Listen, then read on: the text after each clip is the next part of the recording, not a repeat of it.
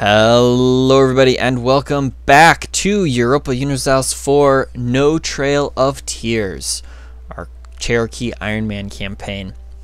So, uh, it's been pretty slow these last couple of episodes. It's pretty much just been a four-speed uh, colonizing, waiting for a chance to attack episodes thing. Um, so yeah, so we just finished our colony at the end of the last episode, uh, our colony here. So I think next what I'm going to do, since we can't colonize Chesapeake because we don't have boats, which I was worried was going to be a thing, but it doesn't tell you that um, when you can't reach it. It just tells you that after. Like if I find one of these, if I go way up here and I look at this, um, yeah, like if you look way up, oh, I guess it does say it at the bottom and I just didn't want to read it. I guess. Okay. My bad. Anyway, uh, what I figure, I figure we're probably going to do is we're going to colonize Yadkin next, as it's low chances of rebellions. Um, it's a five development province.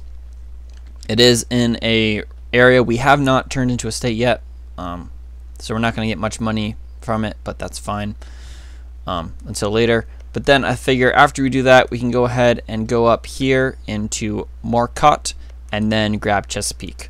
And that will be two provinces away, which is the minimum distance for us to get to Chesapeake. And I want to try and get there as quickly as possible. So I think that's what we're going to do. So let's go ahead and do it. Send our colonist uh, and unpause the game. So, yeah. And plus, it's woods, and woods is a nice defensive terrain. So let's move in here. Let's get this going as have this go as quickly as possible, as much as possible. And yeah, we will just continue to go. We now make uh, 1.39 ducats a month, which is nice. Uh, I do still need to build up two more regiments to finish, excuse me, our current mission. So I think I'm going to go ahead and do that. And in the meantime, we're just waiting. I suppose, again, again, we're just waiting. Um, I'm not focused on anything here, which is fine. Uh, I could take admin tech, but we're just going to wait. If I figured, alright, so I figure colonialism hasn't spawned yet. So until it spawns, and we know they're coming over here, we might as well be teching up. Um, but I still would rather wait. Just had another advisor die. So let's get the tax modifier. So, um, what was I saying? I figured that we have to wait for colonialism to spawn because that will spawn and then we'll know they're over here because they get because I believe you get progress towards colonialism just from having a colony overseas. So in order for it to spawn, you have to be in Europe, Asia, or Africa. Um, have to have a port in Cherokee. Alright, so your capital has to be a port. Or, or the province has to be a port that it spawns, as I'm assuming. And you have to have a quest for the New World. And at least one province in North America, South America, uh, continents, or at least one province in New World con continent in a New World continent. So, yeah. So we're waiting for that stuff. So, um, once it spawns, I figure I'll save up points. Well, we will want to take military tech. Uh, definitely tech 4. Tech 5 isn't as important. Um, it's not a morale tech. It's not a tactics tech. Um, it is a unit tech. So, units would have better pips. Let's look at that, actually.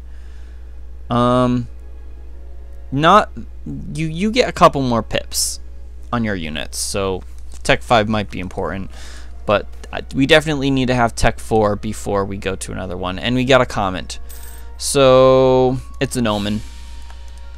It's an omen. The world is ending, but now I can do something with some of my um, admin points and boost stability back up to two.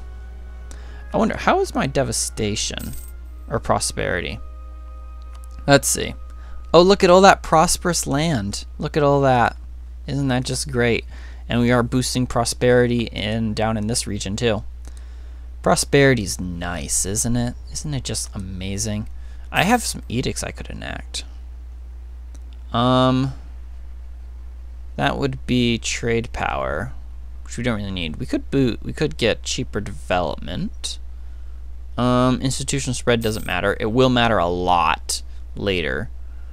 Um, I don't think we need to worry about state edicts right now. It's not something I tend to focus too much on, but it's something to keep in mind. You are in with Ottawa, and that is it. I can't rival you. No, I can't. Oh, you're allied to the Huron. Never mind. Never mind. Hmm. Anybody else want to join the Federation who's not in one? You're in one. You're in one with the saps. The saps. Who exactly? So the Creek, the Wichita, the Fox, the Osaga, and the Potawatomi. Hmm. It's not too much looking at it now that I've got now that I've got an army I know I've got peep other friends with armies. I think the Huron was willing to join in against you weren't they? Uh not anymore. They apparently were when you were here but not well not here. That's that's stupid and we're still waiting on favors. What about what about if I declared war on the creek? Would the Huron join? No, of course not. Of course the Huron would not join. We're at 15 now. So I have to have more units on my force limit. More units. That's okay. 10 stack's pretty nice.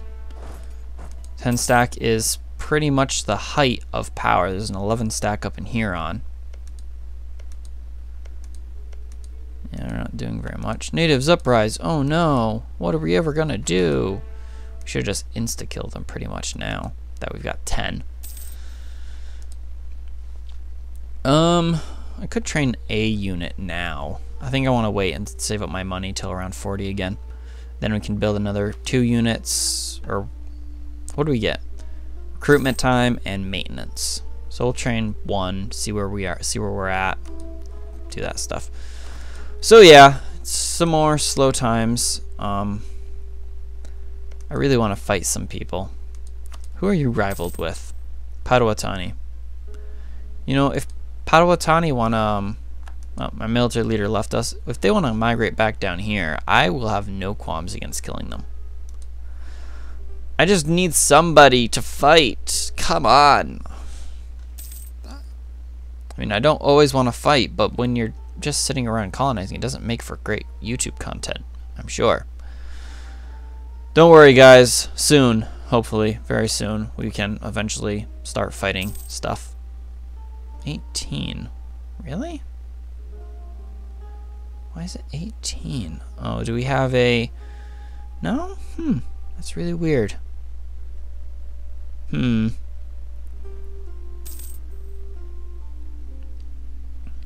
It's really weird. We have a hundred percent increase. That means it's supposed to be a hundred, a thousand, one thousand two hundred monarch points to take attack. That's ridiculous. Like, really ridiculous. A thousand monarch points is ridiculous to take tech. But we have to take it in order to be on par with our enemies. It's really annoying really annoying. It's okay. Figure something out. We'll figure it out. I am making more money. I continue my income does continue to grow. So that is a thing. We're not sitting around doing nothing. With like most of these guys they're just sitting around doing nothing. Moving their army back and forth. No, we're colonizing, we're increasing our development, making more money. So at least we've got that going for us. At least we've got that going for us. All these guys are in federations, right? I'm just going to double check. Yeah, they're all in federations. Federations. Federations. I could. I wonder if I could get you in my federation. Let's try it. Why not?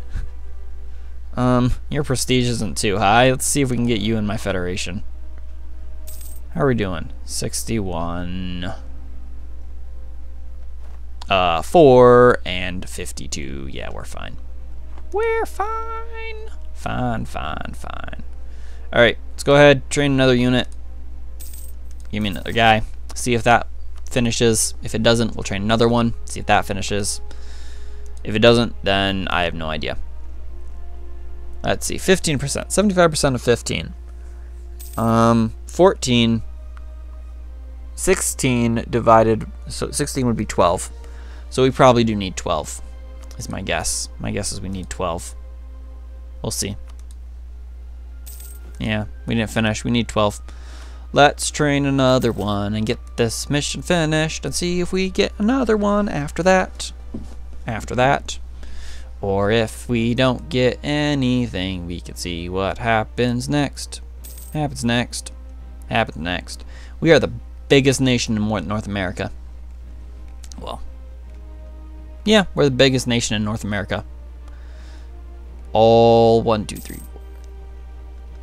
All 12 of our provinces. And there's our mission completed. Fantastic. Fantidiosis. And we have no more mission right now.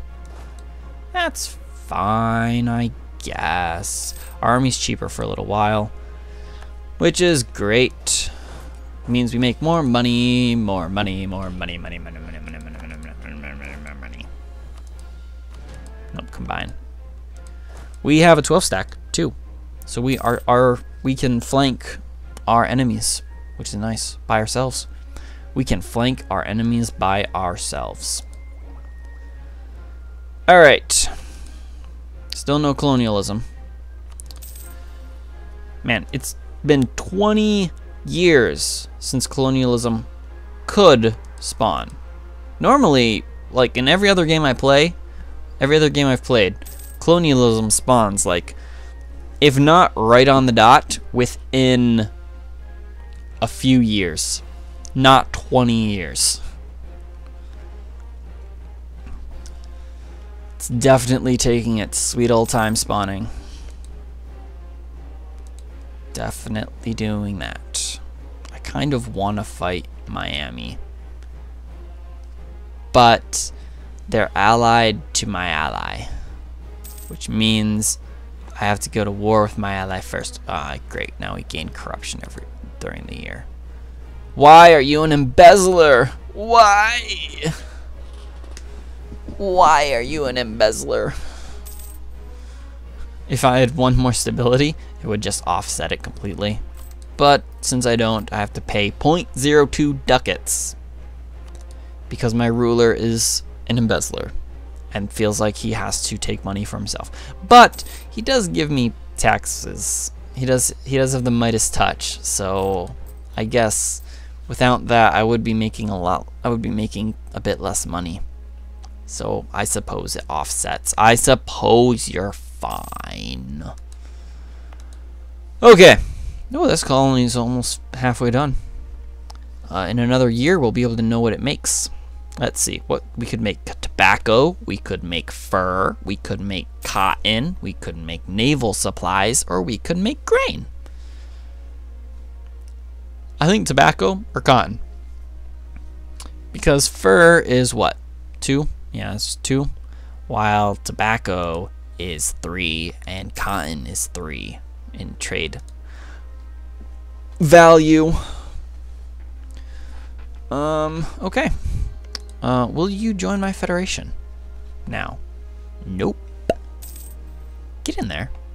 And we make fur. Oh, I'll take it, but it's not really what I wanted. Oh well. Fur, fur, fur. We could corner the market on the fur trade.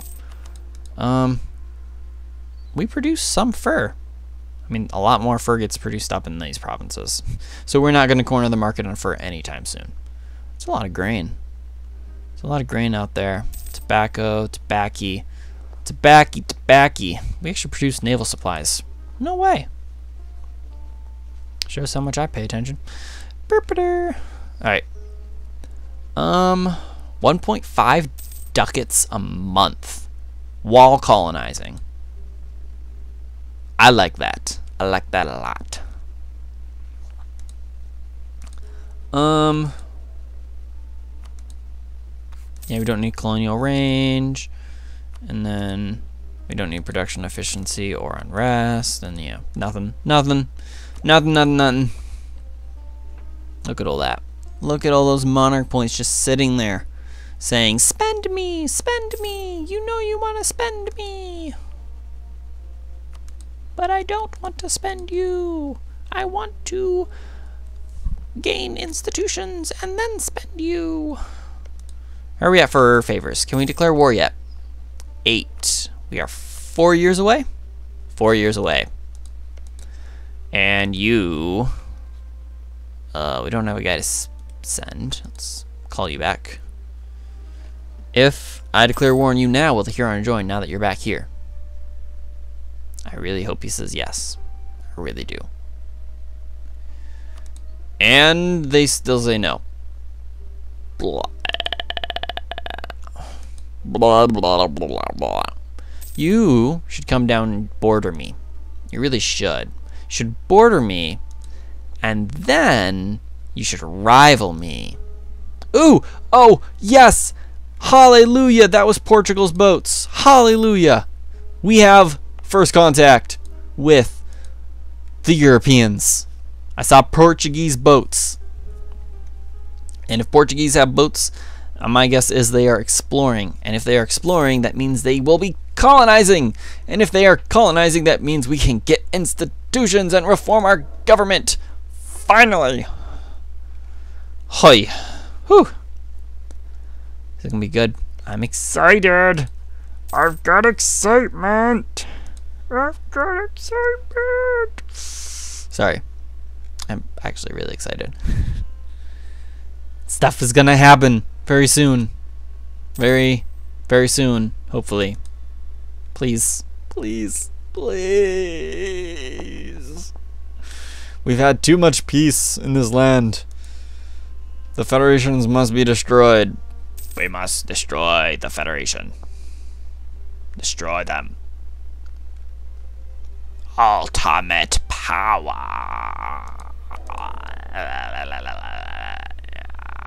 I don't know. Wow. I think I've had enough too much caffeine. I've had caffeine. Boy. Does it taste great. Should I go should I go to 3? Should I go to 3? What do you think? Do you think I should go to 3, guys? I'm wow. Oh, okay. Blah. I think we'll wait to go to 3 until our guy dies. And then we can boost to 2. And we can go to 3. That sounds like a good plan. That sounds like a right good plan to me. Ooh, look at that. It's under a thousand. I mean, if they just colonize down here, just somewhere, just colonize here, and then jump here, and then, ooh, by fire. Give me production efficiency in a province, and don't fail. Ooh, it succeeded. Masoage. That one. Masuge has gotten 10% production efficiency because land shaped by fire. Nice. Okay. Well, I'm going a little bit crazy, guys, in case you hadn't noticed. Um, it's a mixture of just sitting here the last three episodes, doing nothing, trying to figure out what to do, and having caffeine in between those episodes to drink. Yep, that's been what I've been doing. So, I guess uh, we're coming up to the end of this episode. Another episode of slow colonization here in Europa Universalis 4. Hopefully, very soon, um, you have reached 8 favors. The Huron will still not join in this war. because of 52 reasons not to join because of distant war. And against the Creek, how many reasons do they have? They have 99 reasons. And I really want the Huron in the war. How many, how much favors? 33. Let's boost trust by one. Um, the Shawnee, we can boost trust by one. One.